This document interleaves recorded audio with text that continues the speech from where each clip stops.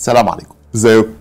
الحقيقة كل الناس عمالة تتكلم على مسار المسيرة اللي أطلقها الحوثيين على إسرائيل وإزاي إن إسرائيل فشلت إنها تعترضها. والأمر ده يخليك آه، تبقى متيقن من حاجة مهمة قوي وهي إيه؟ وهي إن آه، فجأة كده العالم كله شهد فشل الحملة العسكرية الأمريكية على الحوثيين. فجأة كده بدينا نشوف نتائجها. الحوثيين ابتدوا يطلقوا آه، قذائفهم في تل أبيب وابتدينا نشوف إن العالم كله مرتبك إزاي في مسيرة حوثية قدرت تخترق آه، الحدود الاسرائيليه. السؤال الثاني فين آه، القبه الحدية؟ ده سؤال مهم جدا. السؤال الثالث إسرائيل هترد على حزب الله ولا ترد على الحوثيين؟ أما السؤال الرابع هو في هدنة في غزة ولا لأ؟ بص أسئلة كتير قوي وأجوبة لما تجاوب عليها هتلاقي المشهد مختلف تماما غير ما إحنا كلنا بنفكر. بس طبعا عشان أقول لك عليه وأكشف لك التفاصيل دي كلها لازم أقول لك القصة من الأول.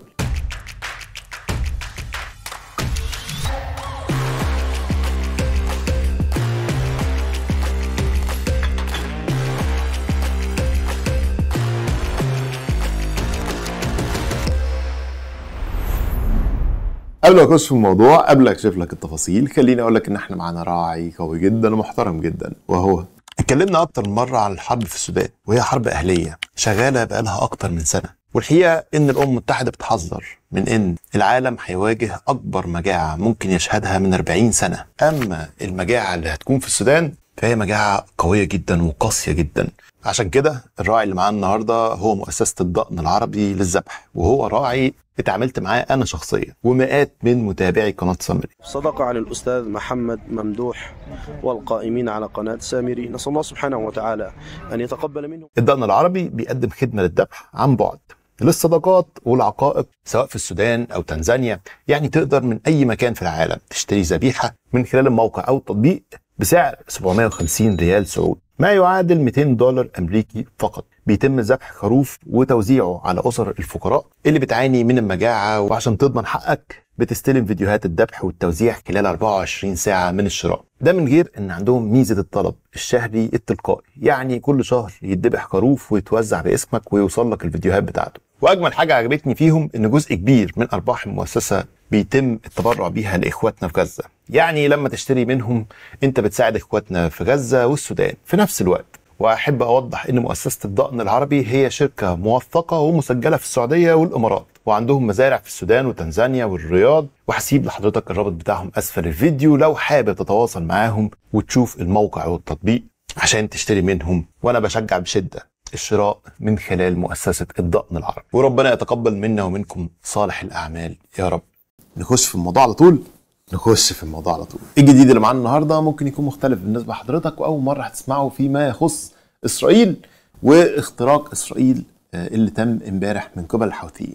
الحقيقة أنا عاوز أبتدي الأول من أهم ملف بالنسبة لي وهو زيارة آه، نتنياهو لأمريكا. المفروض الراجل ده آه، هيروح أمريكا يوم 22 المفروض يصل 22 السؤال بقى هو إزاي نتنياهو هيصل لأمريكا ويلقي خطاب قصاد الكنيست وعنده مشكلة كبيرة جدا إن الرئيس الامريكي معزول لأن الرئيس الامريكي قاعد في البيت في ولاية دلاور الأمريكية عنده كورونا.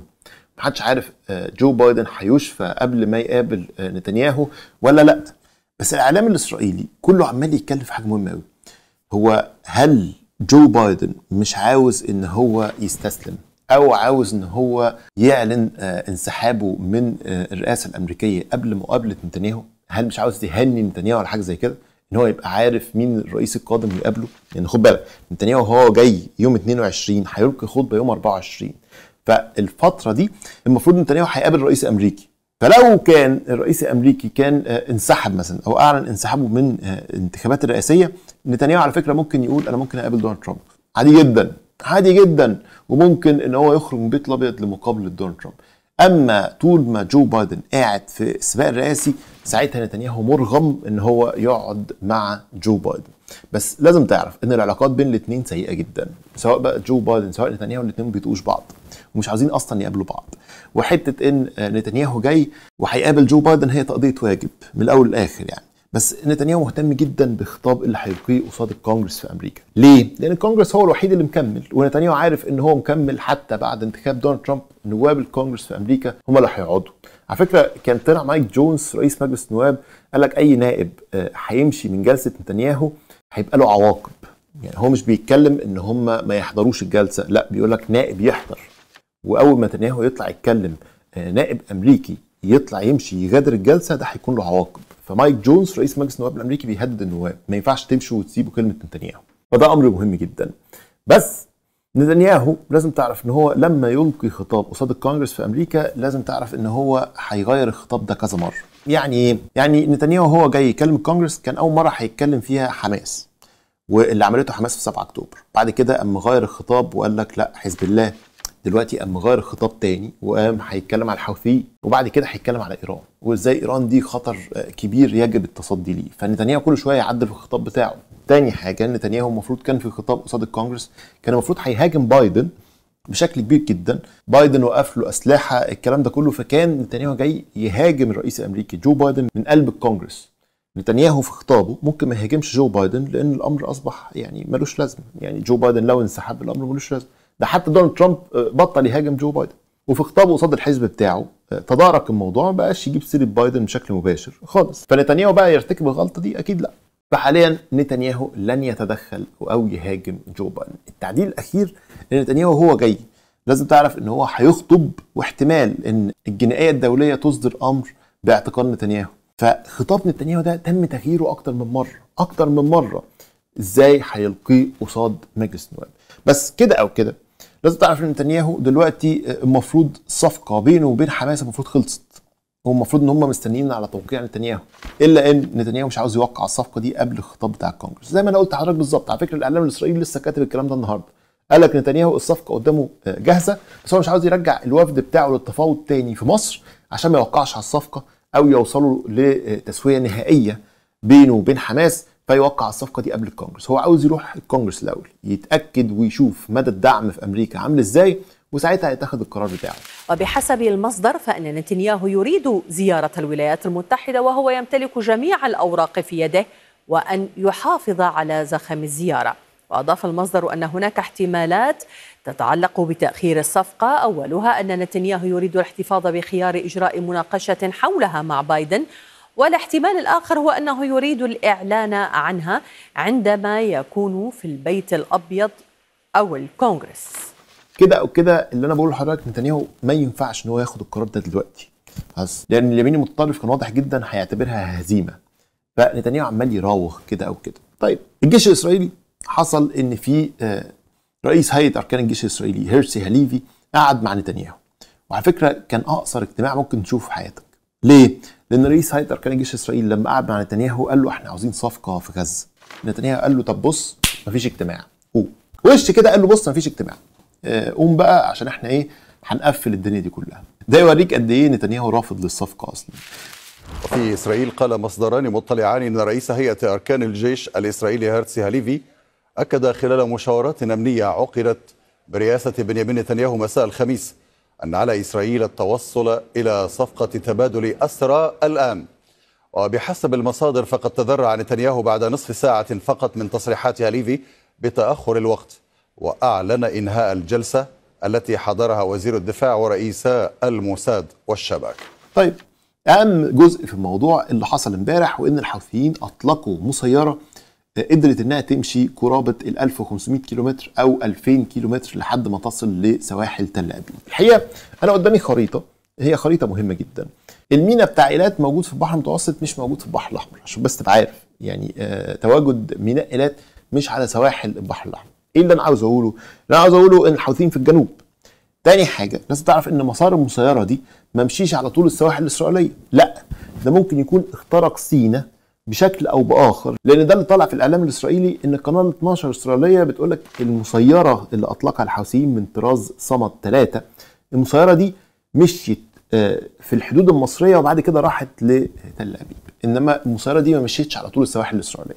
كده أو كده حتى لو كانت مشيت على طول السواحل الإسرائيلية ما كانوش هيشوفوها أصلا. بس بيقول لك إن المسيرة دي انتهجت آه، مسار جديد. تماما على الجيش الاسرائيلي وده أمر عامل صدمة في إسرائيل. تاني حاجة اكتشفوا إن مسيره صمد ثلاثة دي اللي استخدمها الحوثيين. المسيرة دي الرأس الانفجارية بتاعتها أصغر من المسيرات السابقة. يعني التعديل اللي اجرته إيران على مسيرة صمد ثلاثة دي هي إن آه، المسيرة ابتدت تحمل آه، متفجرات قرابة 7 كيلو جرام بدل ما تحمل بقى إيه ال 10 وال 15 والكلام ده كله. لا 7 كيلو جرام بس متفجرات. تعويض آه، الرأس المتفجرة دي اللي خلوها أصغر قال لك تعويضها في الموتور. قال لك آه، الطيارة دي بتعرف تشيل حمولة أكتر في البنزين والموتور بتاعها أكبر عشان كده آه، بتبقى قادرة على الطيران مسافة أبعد بكتير. ده أول حاجة لاحظها الصهاينة. سؤال بقى ليه إسرائيل فشلت في اعتراض المسيرة؟ في رواية جديدة النهارده طالعة آه، رواية مهمة جدا. بيقول لك على فكرة الصهاينة كانوا شافوا المسيرة دي. وطريقة تعامل الدفاعات الجويه الإسرائيلية مع المسيرات من النوع ده بيعملوا إيه؟ بيحسبوا المدى الزمني وبيحسبوا المسار بتاعها وبيقعدوا مستنيينها ينشطوا دفاعاتهم الجوية كالآتي. يشغلوا القبة الحديدية يطلعوا طيارات هليكوبتر يطلعوا حتى مسيرات لتأمين آه، السماء. المشكلة إن إسرائيل لما حسبت المدى الزمني اللي تقطعه المسيرة دي عشان يستعدوا ليها اتضح إن المدى الزمني ده آه، مسيرات خطته فقال لك والله خلاص دي ضلت طريقها يعني هو مثلا كانوا مدينها مثلا ساعة. على فكرة المسيرات دي طارت 10 ساعات. بس بيقول لك كان مدينها ساعة. ماشي؟ بس بيقول لك يا سيدي كانوا مدينا مثلا سبع ساعات. ما وصلتش في السبع ساعات. تجاوزت المدى الزمني ده. فالدفاعات الجويه الإسرائيلية قالت والله دي ضلت طريقها أو مش هتوصل لنا. فخلاص نخمد استعداداتنا. وساعتها طارت المسيرة ووصلت لقلب تل أبيب. وهنا كانت صدمة بالنسبة للجيش الإسرائيلي بشكل كبير قوي وعلى فكرة الموضوع ده عامل كارثة في إسرائيل. تضرب قلب تل أبيب على بعد عشرات الأمتار فقط من السفارة الأمريكية. تقتل إسرائيليا وتجرح عشر آخرين وتجرح كبرياء الجيش الإسرائيلي الذي اعترف بالفشل الخطير. الحاجة الثانية إن الرواية اللي أنا قلتها لحضرتك امبارح هي الصح إن الحوثيين ما أطلقوش مسيره واحدة لأن على فكرة لقيت ناس كاتبالي هي مسيره واحدة تم إطلاقها من الحوثيين لا الحوثيين عملوا عملية إلهاء ما يسمى عليها دايفرجن إزاي؟ الحوثيين أطلقوا كذا مسيره بس من عيارات مختلفة أو من طرازات مختلفة. دي المسيره الأساسية اللي هي صمت ثلاثة دي هي اللي تم توجيهها عشان تصل لسواحل إسرائيل. إنما كان في مسيرات أخرى رصدها البحريه الأمريكية وأسقطوها. في ناس تقول لك أربعة في ناس تقول لك خمسة بس في الآخر كان في مسيرات إلهاء أخرى كان الحوثيين عارفين إنهم مش هيوصلوا آه، لتل أبيب. المسيرة دي هي الهدف الأساسي. وقالت الصحيفة إن جيش الدفاع الإسرائيلي يجري تحقيقا في جميع المسارات المحتملة لوصول الطائرة المسيرة ولا يستبعد مصادر إطلاق مختلفة على الرغم من إعلان الحوثيين مسؤوليتهم عن الهجوم. كما كشفت الصحيفة عن اعتراض جيش الدفاع الإسرائيلي هدفا آخر يقترب من إسرائيل من الشرق خلال الليلة الماضية. نفس الوقت لازم تعرف إن كان في مسيرة جاية من العراق وده شيء لو تم آه، إثباته إن الحوثيين تعاونوا مع ميليشيات حزب الله اللي موجودة في العراق ده أمر هيبقى خطير جدا. ليه؟ لأن مش عملية إلهاء بسيطة إن مسيرتين يوصلوا في نفس الوقت في نفس الساعة. آه، هنا أنت بتعمل إن في إلهاء لمنظومات الدفاع الجوي. النهارده كل الإعلام الصهيوني بيقول لك فين منظومات القبة الحديديه إزاي يتم اختراقها بالشكل ده؟ النهارده الكلام طالع إن آه، إسرائيل ما عندهاش منظومة قبة حديديه للتصدي للمسيرات وتم الكشف عن الثغرة دي. إسرائيل عندها قبة حديدية للتصدي للصواريخ والمقذوفات. إنما مسيرات الظاهر كده إن بيتم اختراقها ليل ونهار وإن موضوع الاختراق للقبة الحديدية ده ده أمر أصبح مستحدث بشكل كبير. والظاهر كده إن التنسيق مش بس بين الحوثيين وحزب الله اللي موجود في العراق التنسيق كمان بين حزب الله اللي بيشوف الأهداف وبنك الأهداف بتاعته في إسرائيل وبينقلها للحوثيين وحزب الله. لأن خلي بالك الحوثيين في اخطر حاجة قالوها في البيان بتاعهم قال لك إحنا عندنا بنك اهداف داخل اسرائيل. طيب هل الحوثيين كانوا اخترقوا قبل كده آه، اسرائيل وصوروا الاهداف الاسرائيليه؟ لا. مين اللي صور؟ حزب الله. خلي بالك الحوثيين ما عندهمش حتة ان المسيره تروح تصور اسرائيل وترجع تاني. مسافه كبيره جدا. ما ينفعش المسيره تعمل كده. وعشان تعمل كده لازم تبقى مسيره اضخم يسهل اسقاطها. فاللي عمل بنك الاهداف للحوثيين هو حزب الله. فده أمر اخطر. قلب تل أبيب في مرمى نيران الحوثيين. هجوم جديد أعلنت الجماعة أنه يأتي ضمن عملياتها لإسناد غزة لكن سلسلة من الحوادث الغامضة التي استهدفت إيران ومصالحها في الفترة الأخيرة تثير تساؤلات بشأن ما إذا كان استهداف الحوثيين لتل أبيب انتقاما إيرانيا بالوكالة. أخطر ما في الموضوع هي إسرائيل هترد إزاي؟ يعني ده آه، الهم بتاع الإعلام الاسرائيلي النهارده. بيقول لك إحنا هنرد إزاي؟ يعني طريقة الرد آه هيتم مع التنسيق مع الأمريكان مع البريطانيين بس هنرد إزاي؟ وده التساؤل الأساسي. هل هنعمل عمليات قصف جوي آه، لليمن؟ ده أمر آه، ما بيفرقش خالص مع الحوثيين وأمر مش هيضعفهم بشكل أو بآخر. بس النهارده الصهاينة بيحملوا الأمريكان السبب. بيقول لك الأمريكان هم اللي مشوا حملة الطيارات من قدام السواحل اليمنية وده أمر كان خطير جدا. وإسرائيل بتدفع ثمنه دلوقتي آه، عندها. لأن أمريكا الظاهر كان يجب انها تتم عمليتها بشكل مركز أكتر. الحقيقة كل الدعوات النهارده طالعة حوالين ان يجب توجيه ضربة لإيران. الحاجة الثانية اللي شاغلة بال إسرائيل ان إسرائيل بتتم تجهيزاتها لضرب حزب الله. بس القصة كلها في إيه؟ القصة كلها ان لأول مرة يتم ضرب العاصمة من قبل الحوثيين وإسرائيل تستعد للهجمات مع حزب الله أو حرب مع حزب الله. ليه؟ لأن خد بالك النهارده حزب الله وسع من المدى بتاع استهدافاته لإسرائيل. خد بالك بس في الحتة دي حزب الله وسع من مدى استهدافاته لأن حسن نصر الله طلع وقال آه، إن لو إسرائيل آه، تمادت في اغتيال القادة وتمادت في ضرب مدنيين هيضرب مناطق ما كانش بيضربها. التمادي في استهداف المدنيين سيدفع المقاومة إلى إطلاق الصواريخ واستهداف مستعمرات جديدة لم يتم استهدافها في السابق. إذا جاءت دباباتكم إلى لبنان وإلى جنوب لبنان لن تعانوا من نقص في الدبابات لأنه لن تبقى لكم دبابات. طيب فالنهاردة حزب الله ضرب مناطق ما كانش بيضربها ووسع من مدى الضربات بتاعته. وإيه المشكلة في حاجة زي كده؟ تهجير جديد للسكان الصهاينة لقلب إسرائيل. وده أمر كان قاسي جدا. لأن أنت بتتكلم قبل كده كان تم تهجير 120 ألف. لقلب إسرائيل والناس دي بتروح تقعد في فنادق على حساب الحكومة.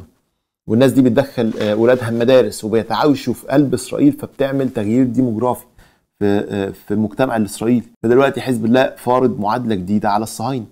فده أمر آه، مهم جدا. الأمر الآخر هو ضرب إيران بالنووي.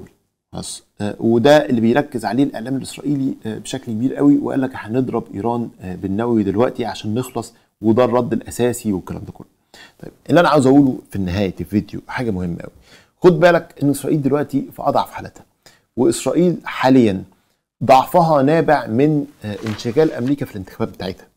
إسرائيل مش ضعفها نابع من آه، قدراتها العسكرية اللي بتتآكل وإن عندهم مشكلة في الدبابات وإن هم أصلا مش عارفين يفتحوا جبهة حزب الله عشان عندهم مشاكل في الذخيرة بتاعتهم والدبابات بتاعتهم. لا مشكلة إسرائيل الأساسية إن أمريكا فيها انتخابات وإن أمريكا عاوزة تحافظ على اقتصادها بشكل كبير ومش عاوزة تخش في حروب واسعة ضد الحوثيين. لأن خد بالك تم التأكد تماما إن الحوثيين ما ينفعش تتعامل معاهم بالسبل العادية خالص. لأ أنت عشان تتعامل مع الحوثيين يجب إن أنت تتعامل معاهم بسلوك مختلف وطريقة عسكرية مختلفة غير اللي كان بينتهجها الأمريكان. وخد بالك من كلام نائب الرئيس الأمريكي جاي دي فانس اللي طلع قال إن الحوثيين يجب ضربهم بشكل مختلف غير التحسيس اللي بيتم من آه، البحرية الأمريكية. فده أمر مهم جدا. والحاجة الثانية اللي خايفة منها إسرائيل حاجة هامه إن ما يكونش الحوثيين عاوزين يشتتوا آه، انتباه إسرائيل عن مهاجمة حزب الله. وإن عاوزين يقولوا له لا ده أنت ممكن تخسر مدنيا ويحصل عندك آه، مشاكل كتيرة. لأن خد بالك لما الحوثيين يضربوا العاصمة سكان العاصمة لو تم تهجيرهم هيروحوا فين؟ وده سؤال مهم جدا. مش هيلاقوا حتة يروحوها. وساعتها عمليات النزوح اللي بتتم من شمال إسرائيل ما ينفعش تحصل من العاصمة. الحل الوحيد إن العاصمة يتم استهدافها إن سكان العاصمة يهاجروا من إسرائيل كلهم. زائد إن خد بالك إسرائيل عندها مشكلة داخلية في تجنيد الحريديم يعني إحنا بنتكلم إن بكرة هيتم تجنيد الحريديم رسميا في إسرائيل وده هيعمل مظاهرات ضخمة وصدمات داخلية كتيرة جدا.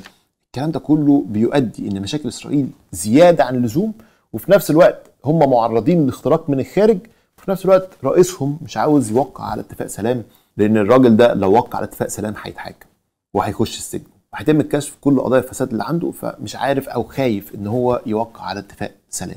عملية آه، الحوثيين امبارح لضرب تل أبيب هي عملية آه، ضخمة جدا في الإعلام الإسرائيلي والإعلام الإسرائيلي مركز عليها جامد جدا لأن هم شايفين إن هم تم اختراقهم وده أكتر حاجة مخوفاهم إن إحنا تم اختراقنا. بس على الجانب الآخر خد بالك إن مشكلة الحوثيين هي تطلعاتهم وإن مشكلة الحوثيين بتبدأ من نهاية حرب إسرائيل مش في حرب إسرائيل. يعني طول ما هم في حرب إسرائيل مفيش مشكلة. إنما تطلعات الحوثيين إن هم عاوزين يبقوا قوة إقليمية وحتى قوة عالمية ده اللي عامل مشكلة كبيرة جدا. هم بيهددوا دول الجوار بيهددوا دول الخليج والكلام ده كله. وفي نفس الوقت هم معتمدين على إيران بيتبنوا أهداف إيران. فده أمر هتشوف مشاكله بعد نهاية حرب آه، غزة. ده لو خلصت وهتبتدي مشاكله أكبر لو آه، حرب لبنان ابتدت لازم تعرف إن هيكون في اشتباكات بشكل مختلف إن الحوثيين هيستخدموا نظام ال saturation ال saturation ده نظام الإغراق أو التشبع في استهداف إسرائيل. بدل ما هيطلقوا مسيرة واحدة هيطلقوا مئات المسيرات اللي مش هتعرف البحرية الأمريكية تعترضها لوحدها ومش هيعرف الدفاعات الجوية الاسرائيليه تعترضها لوحدها وهيكون في ضربات قاسية جدا من إسرائيل وكده إسرائيل فتحت جبهتين في منتهى الخطوره. جبهة حزب الله اللي هي على طول بتتعامل معاها إنها جبهة عسكرية محدودة وإن بداية الحرب مع حزب الله هتكون في إيد إسرائيل تملي. وجبهة تانية مدنية لأن مشكلة إسرائيل النهارده إن الحوثيين ابتدوا يضربوا أهداف مدنية بدل ما كانوا بيضربوا آه، ميناء إيلات. فده مشكلة كبيرة جدا. في الآخر يا رب اكون شرحت لحضرتك الموضوع بشكل مبسط ويا رب انصر مصر، رب انصر العرب ويا رب انصر فلسطين يا رب. تحيا مصر. سلام.